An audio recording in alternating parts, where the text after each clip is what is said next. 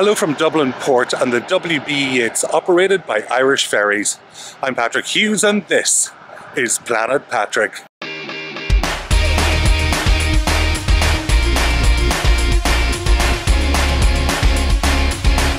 I'm Patrick Hughes and this is Planet Patrick.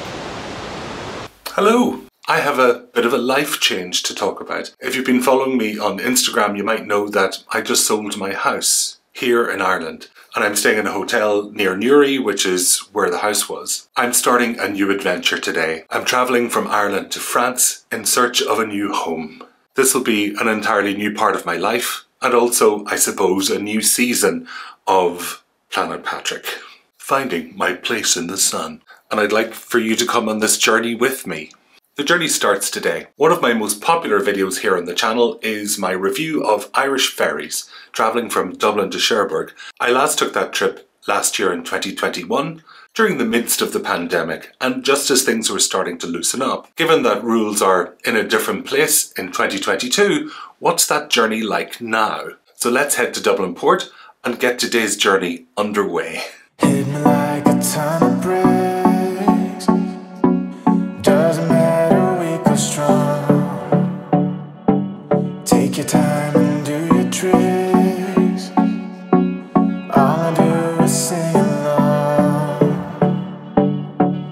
Not quite sure what's going on, but there's a big queue of trucks and cars behind me and a big queue right in front as well. Okay, I've now made it as far as the check-in point, but it looks like check-in isn't actually open yet.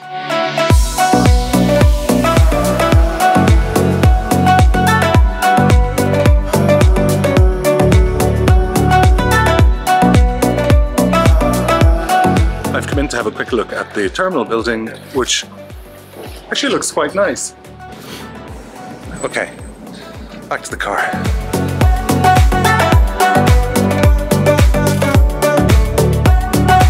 We're way behind. It's quarter to four. Not even 20% of cars have been uh, boarded yet.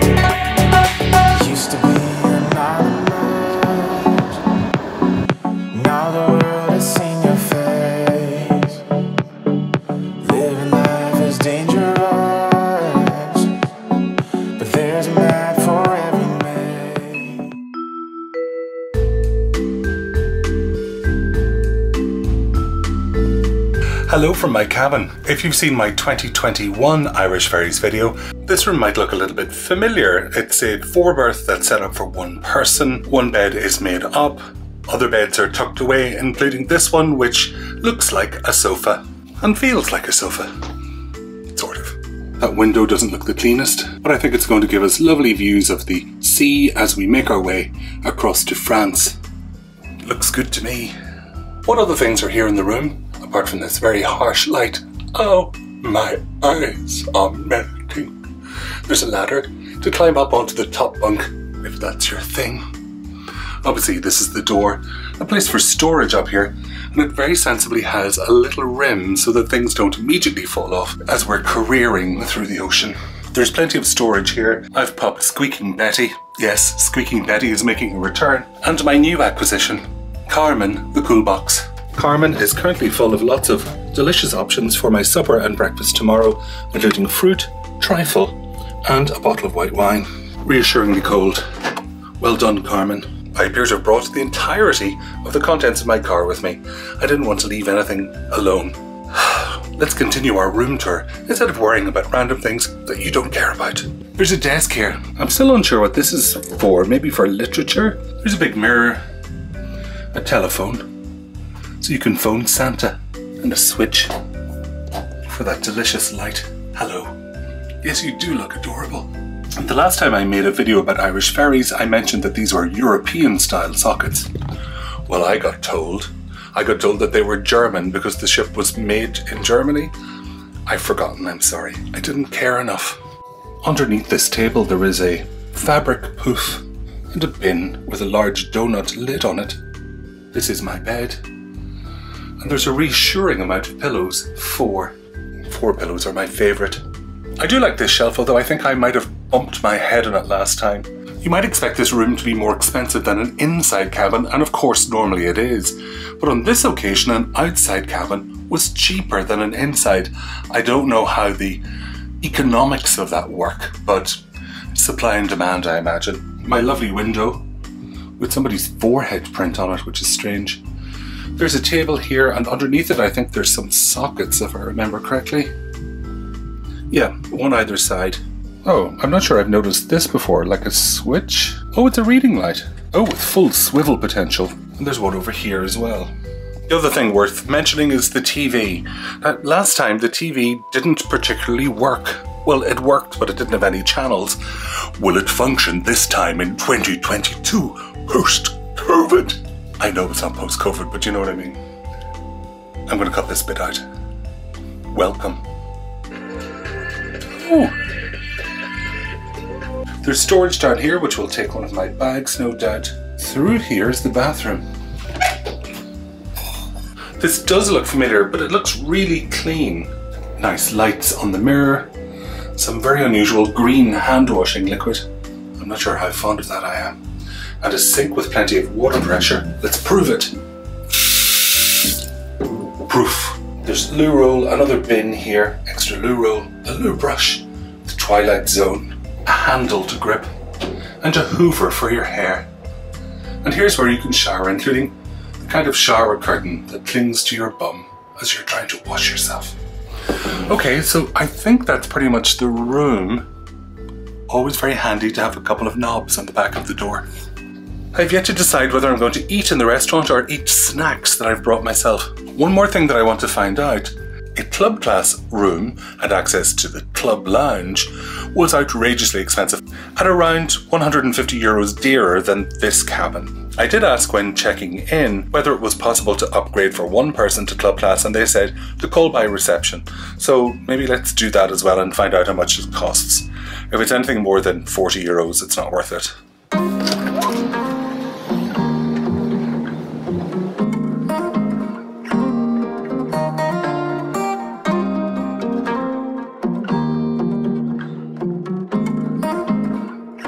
Shop is through here, and then at this door you can have access to the exterior.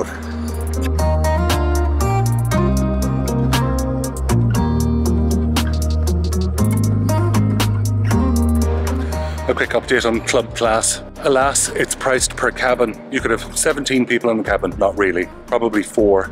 That costs 100 euros. But if you're a single person in a cabin on your own, it's still 100 euros. I'd set a budget of 40, maybe stretching to 50. So I think 100 is just too much to pay. I don't think that's worth it. Maybe for a family it is.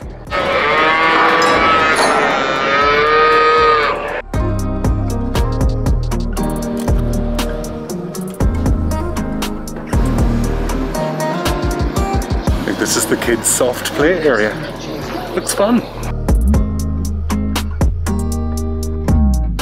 Well, cheers. The last few weeks have been pretty hectic since I got back from Mexico.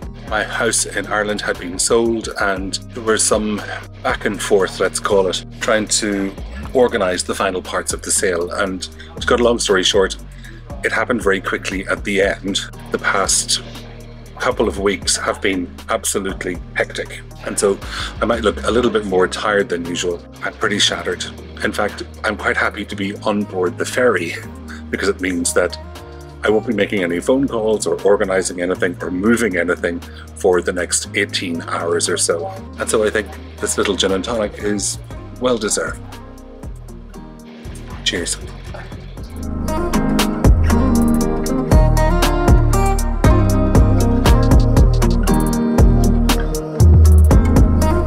It's lovely, isn't it?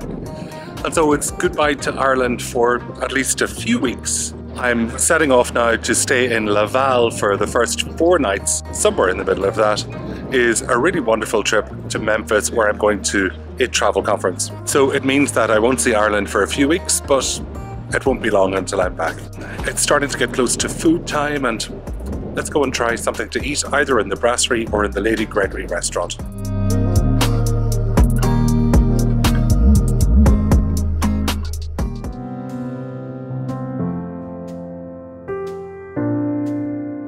I'm a little early for the Lady Gregory restaurant, but I am going to treat myself to a three course dinner with wine. Early birds get three courses for 50 euros versus 60 if you come later.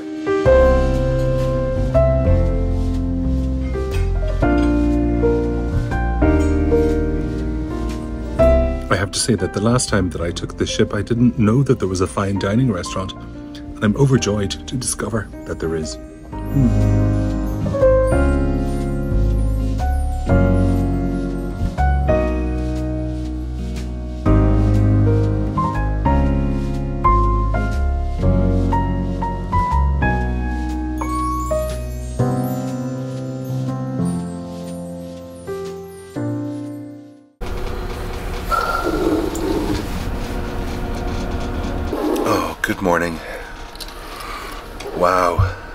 Slept really, really well. I think the little rocking of the boat and the kind of white noise from the engines lulls me off to sleep. Better go get ready and get some coffee. I think there's a couple of places to get breakfast on board.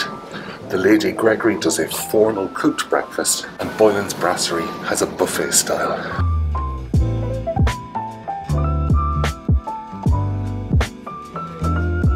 There's kind of continental options back here, and then a cooked breakfast is served buffet style over here.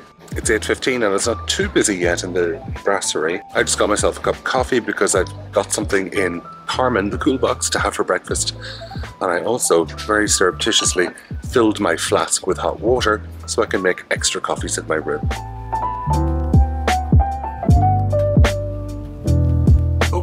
My tripod just broke. Darn you, tripod! So you are perched on top of a ledge on a very small tripod. Okay, so here's some of the essential things I bring with me for breakfasts and lunches. First of all, a cutlery bag. In other words, it's a pencil case filled with things that I might need, like a very handy spork, skizzers, where's they're known? Skizzers. A little vegetable peeler. Why might you need a vegetable peeler? Well, I like raw carrots, particularly if I've got some dip. And I'm going to have one for breakfast. And there's lots of other things in here. Little knives, a screwdriver, that kind of thing. You never know when you're going to need one of those things. Okay, so as you saw, I went up to Boylan's Brasserie, got myself some coffee. It's grand. Then over here in Carmen the Cool Box, we have lots of different breakfast options. I have some dip here for my carrot. I've never tried this before, it's a garlic one. Banana, which I do want. Okay, all set for breakfast. I know the carrot is strange. Sharp knife.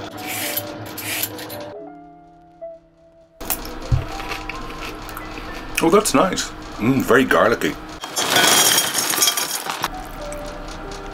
Mmm, that's nice granola. That was absolutely delicious.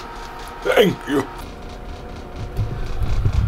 Well, that's breakfast done with. I'm going to head up on deck. I'm slightly confused about something from yesterday. We departed about an hour and 15 minutes late. I'm not sure whether we've picked up some of that delay, whether we're going to arrive an hour and 15 or maybe even later. If we pop up on deck, we might see if we can see land at this point, whether it's all a misty, murky mystery. I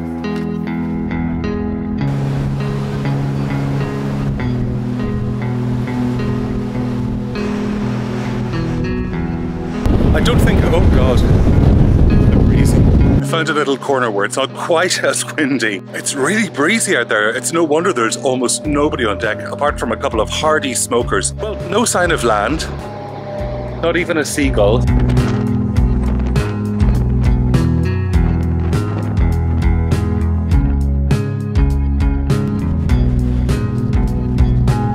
We're running still slightly late. Pilot will be boarding us in about 10 minutes and we shall be alongside with half an hour delay. Apologies. I have to be honest, I'm not entirely sure what he said. I was ranting yesterday evening about this being maybe a three berth. As I got into bed last night, my eyes travelled upwards. Here and here are the locks that you unscrew to allow the top bunks to fold down. My faculties were not fully functioning last evening. So it is a four berth set up for one person. The last ferry trip that I took was with Brittany Ferries from Bilbao to Rosslare. That was a pain in the neck. This, however, has been a breeze. This cost 283 euros. The Bilbao one way was around 600. You make your own calculations. And then suddenly, out of nowhere, appears the edges of the port.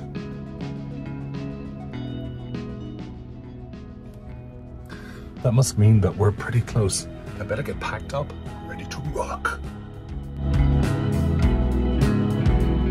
I wasn't expecting to say this, but there's a really strong smell of cow poop. I'm not sure if you saw the clip earlier from yesterday evening. There are three or four trucks carrying cattle. You might have heard their lowing. It sounded like cries for help. It resulted in that particular smell, I'm afraid. Okay, about half an hour until we get in, I got talking to somebody who seemed to know what was going on. Final little walk around on the deck and then time to get packed up.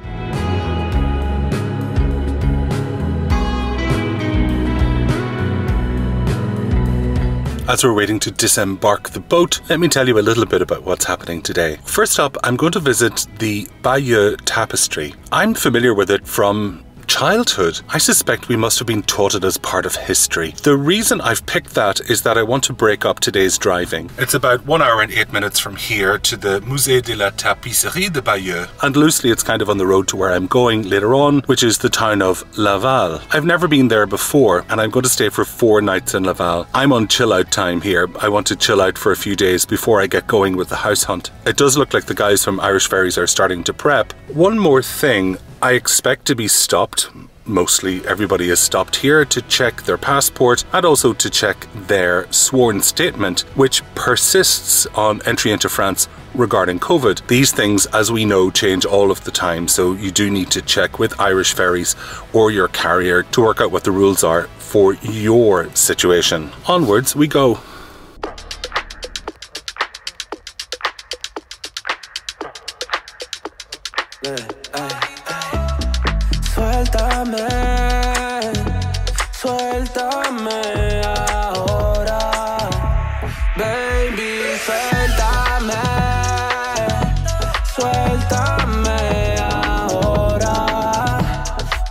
Thank you so much for joining me for this episode of Planet Patrick from here, aboard Irish Ferries WB Yeats. I'm glad you could be here for this episode, right at the start of me finding my new home. I hope you can be here for the rest of it. See you in the next episode. Take care. Bye bye.